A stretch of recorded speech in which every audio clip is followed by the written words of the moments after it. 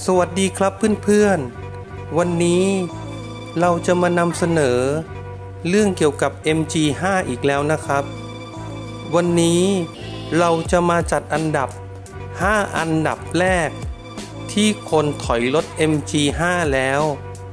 มักที่จะทำหลังจากที่ออกรถนะครับ จะมีอะไรบ้าง โปรดรับฟังกันได้เลยครับ อันดับที่ 1 ยังคงเป็นแผ่นรองใต้เครื่องยนต์สุดฮิตครับ เพราะว่าถึงแม้ MG จะไม่ได้แถมมา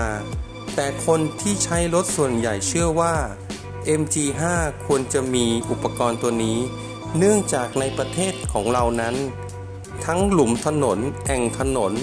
ฝนตกน้ำขัง คนใช้รถ MG5 ส่วนใหญ่คิดว่า ถ้ามีแผ่นรองใต้เครื่องยนต์ที่แข็งแรง แล้วยึดแน่นหนา สิ่งนั้นควรทำเป็นอันดับแรกครับ วันนี้ก็เลยมาเป็นอันดับที่หนึ่งอันดับที่สองเห็นทีจะเป็นเจ้าชุดแต่ง ที่ตอนนี้หลาย ๆ ค่ายก็ทำออกมาไม่ว่าจะเป็นชุดแต่งศูนย์นะครับ หรือว่าจะเป็นชุดของ Ultimate ที่กำลังเพิ่งออกมาใหม่นะครับ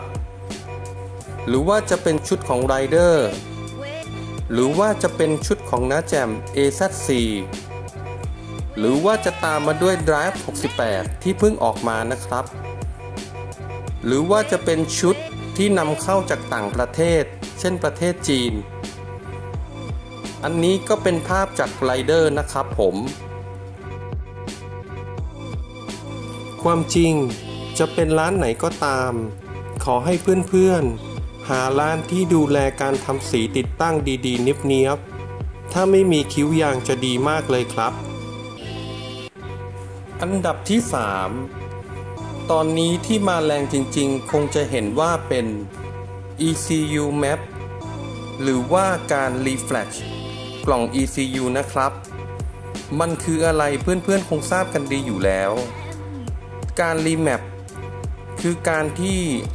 เอาข้อมูลของ ECU เดิม มาแมปปิ้งมาใหม่ทำให้รถนั้นอัตราเร่งดีขึ้น มีกำลังมากขึ้น คันเร่งตอบสนองได้มากขึ้น ลดประหยัดน้ำมันมากขึ้น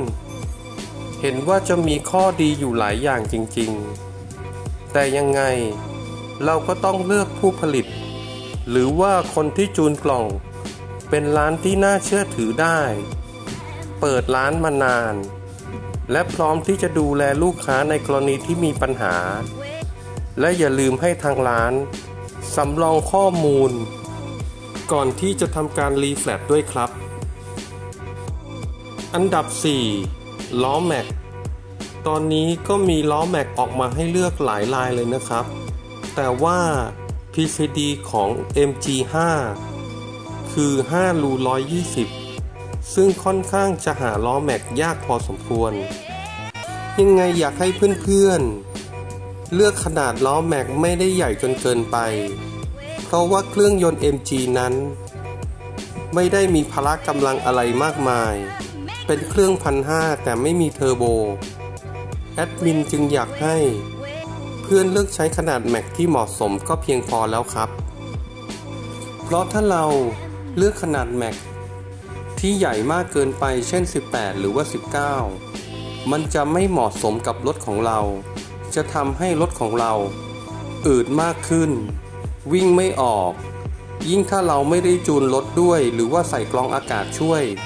มันจะทำให้รถ MG ของท่าน การออกตัวแย่ลง การขับขี่ยิ่งแย่ลงทำให้รถไม่น่าใช้